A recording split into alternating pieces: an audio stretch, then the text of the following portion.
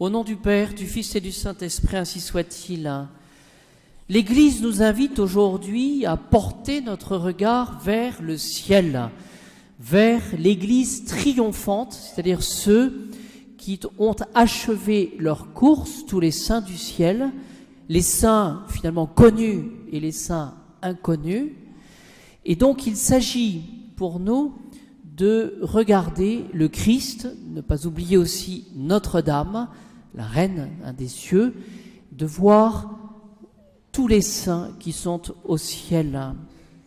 Alors ce que nous croyons, c'est de foi, c'est que le Christ, le Christ Jésus, la personne du Christ, le Christ Sauveur est prêtre et souverain prêtre et son sacerdoce est éternel. Pourquoi parler du sacerdoce éternel du Christ? Pourquoi parler hein, du Christ prêtre? Parce que si nous comprenons bien, à la suite de l'Évangile, nous pouvons dire nous avons vu, nous avons pardon un pontife qui a pénétré dans les cieux, Jésus, Fils de Dieu. Il est prêtre pour l'éternité. Le Christ est toujours vivant afin d'intercéder pour nous. Vous voyez, ce ciel qui nous est donné, ce ciel pour lequel nous sommes faits, il nous est donné de manière gratuite. C'est ça qu'il faut comprendre. Et le bon Dieu nous fait partager sa béatitude. Et cette béatitude, nous pouvons, je dirais d'une certaine manière, l'atteindre, aller au ciel, mais par le Christ et par le prêtre. Quelle est la fonction du prêtre? Quel est finalement le rôle du prêtre, le Christ de manière éminente, mais pour nous qui sommes prêtres, eh bien, c'est d'être médiateur entre Dieu et le peuple. C'est-à-dire finalement, c'est la fonction propre du prêtre d'être celui qui donne au peuple les choses saintes, sacerdoce, donner le sacré. Vous souvent on s'interroge sur l'identité du prêtre sur ce que le prêtre doit représenter. le prêtre, c'est un autre Christ. Hein, le prêtre, à la messe, quand il prononce les paroles de la consécration, qu'est-ce qu'il fait? Il dit Ceci est mon corps. Il dit pas Ceci est le corps du Christ, il dit Ceci est mon corps. Le prêtre agit au nom du Christ. Mais que fait le prêtre? Que fait le Christ? Il nous donne Dieu, il nous donne le ciel. voyez? C'est la fonction propre du prêtre que de donner au peuple les choses saintes. Et qu'est-ce qu'il faut entendre par les choses saintes? Le sacré que le prêtre donne, eh bien, c'est la doctrine sacrée, ce sont les vérités révélées de l'existence de Dieu et des moyens qu'il nous donne pour aller au ciel. Vous voyez, ce qu'on attend du prêtre, c'est qu'il nous donne les moyens d'aller au ciel par le Christ Jésus. Et le rôle du prêtre aussi, c'est de porter au bon Dieu vos prières, je dirais nos prières, hein, vos prières, qu'on porte vers le ciel nos prières et nos sacrifices. C'est la première chose que je voulais développer avec vous aujourd'hui, voyez, c'est de, hein, de toucher le ciel et les choses sacrées. c'est comme ça que ça marche. Ensuite, deuxième idée que je voudrais développer, c'est que nous sommes tous un peuple de rachetés. Voyez, ceux qui sont au ciel, les saints connus, mais les saints de nos familles, ceux qui ont achevé leur course et qui sont au ciel, eh bien le sont par le Christ et par le prêtre. Pourquoi? Ben Parce que tous nous sommes rachetés, bien sûr, nous connaissons nos péchés, nous connaissons nos misères. Nous savons, du moins c'est ce qu'il faut hein, demander au Seigneur, ce que nous valons. Mais par le Christ, par sa grâce, nous pouvons atteindre le ciel. Pour dire les choses autrement, les saints ont connu les combats que nous connaissons.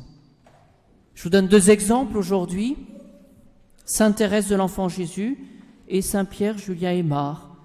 Sainte Thérèse de l'Enfant Jésus, son agonie du 14 au 30 septembre 1897, que dit-elle, Sainte Thérèse Si c'est ça l'agonie, qu'est-ce que la mort?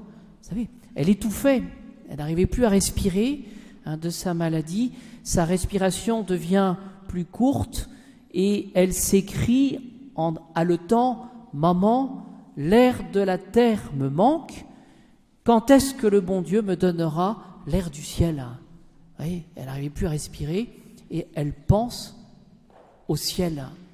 notre âme, elle est faite pour le ciel. Notre âme a été créée à l'image hein, du bon Dieu. Elle est faite pour le ciel. Sa grande hantise, c'était d'étouffer. Jamais je ne vais savoir mourir, disait-elle.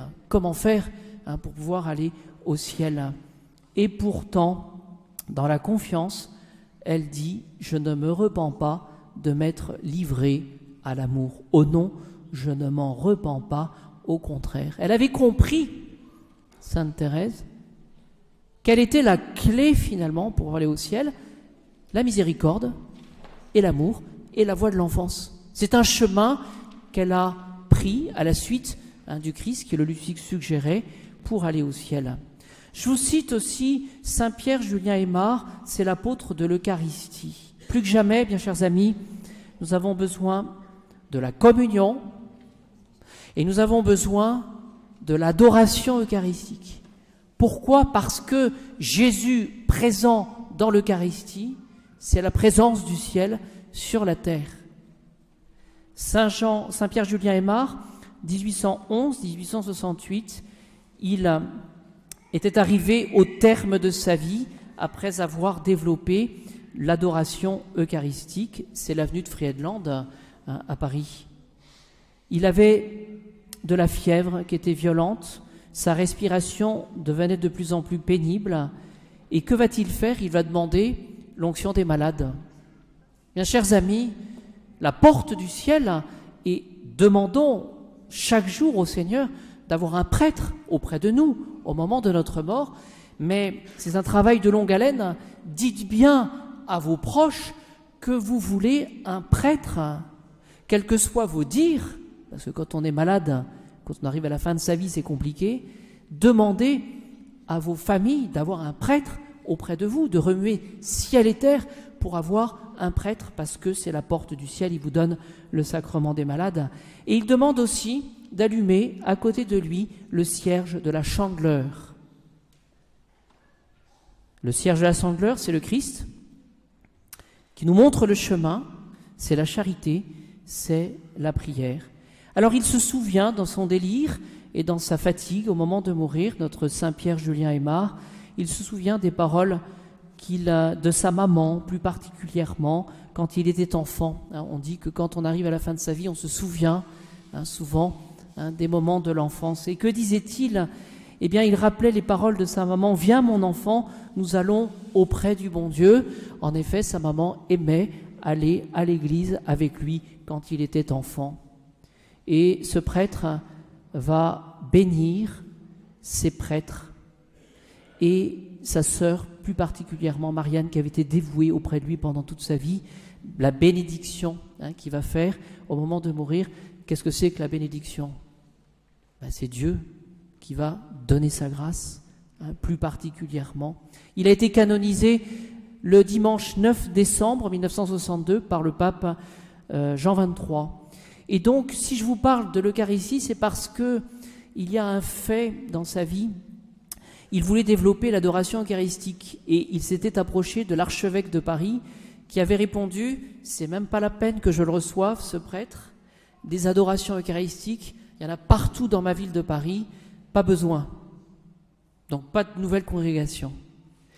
Et le père Saint Julien Aymar ne s'est pas découragé, il a été inspiré hein, par le Saint-Esprit et il a dit, mais Monseigneur, éminence, bien sûr c'est l'adoration eucharistique, mais j'aimerais avec mes prêtres développer la première communion des adultes. Première communion des adultes, parce qu'à l'époque, révolution industrielle, etc., il y avait peu hein, d'adultes qui avaient reçu le baptême ou ils le recevaient plus tard. Première communion des adultes. Bien chers amis, c'est un apostolat qu'il faudra développer nous aussi. Beaucoup ne reçoivent plus le baptême, beaucoup ont apostasié, beaucoup auront à refaire leur première communion.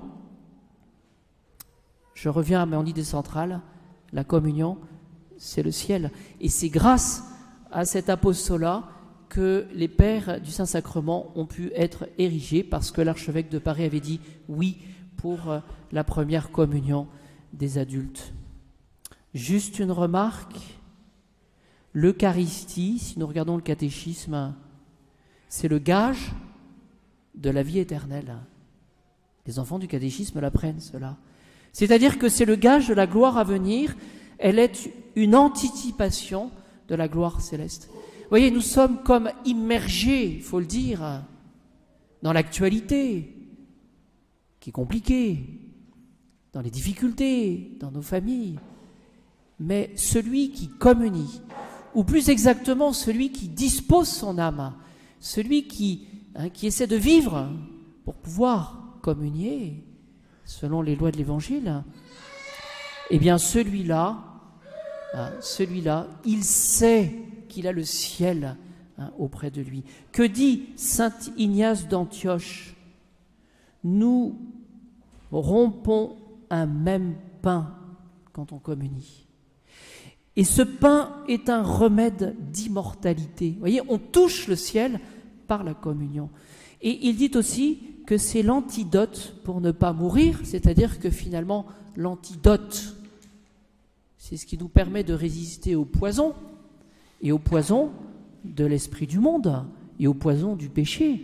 Si je pêche, je sais gravement, je sais que je ne peux pas communier. Et donc je vais aller communier, je vais aller me confesser, je vais essayer de changer de vie. Et n'oublions jamais que la communion hein, n'est pas une récompense, mais c'est bien la nourriture pour que nous soyons forts. Une autre remarque par rapport au ciel, hein, c'est le problème, hein, le mystère de Judas. Judas, lui, il a connu le Christ. Il a assisté vraisemblablement à la dernière scène. Peut-être a-t-il communié. Judas, vous le savez, il a trahi hein, le Christ. Ben, qu'est-ce qui s'est passé dans son âme, dans son cœur? Eh bien, c'est qu'il n'a pas cru, disent les pères de l'Église, à l'amour. Il n'a pas cru au ciel. Il n'a pas eu recours au Christ médiateur. Il n'est pas allé voir la Sainte Vierge. Il n'a compté que sur ses propres forces. Et c'est pour cela, c'est cela son drame, hein, qu'il s'est pendu. Hein. il n'a compté que sur ses propres forces. Le ciel, bien chers amis, doit nous animer. Que dit Saint Léon le Grand? Judas n'avait pas compris que dans son premier avènement, Jésus est venu uniquement pour sauver et pour pardonner. Alors bien chers amis, prions à nos saints patrons aujourd'hui, prions tous les anges, prions Notre-Dame, prions évidemment le Christ Jésus, hein, le Saint par excellence, bien pour nous donner finalement cet amour du ciel. Vivons je dirais, dans le monde, mais sans être du monde, c'est-à-dire avec hein, cette perspective du ciel. Nous sommes faits hein, pour le ciel et c'est ce qui nous permettra hein, d'avancer et c'est ce qui nous permettra eh bien, de compter sur le bon Dieu et sur le prochain pour nous aider à aller au ciel. Alors, voyez, cessons finalement de, de rester, je dirais, de manière trop terre à terre et essayons de vivre en fonction du ciel, essayons de sauver notre âme, non pas tout seul, non pas avec nos propres forces, mais avec la grâce du bon Dieu et surtout son amour